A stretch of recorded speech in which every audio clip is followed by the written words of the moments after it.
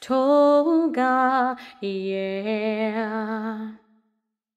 One happy birthday dot com.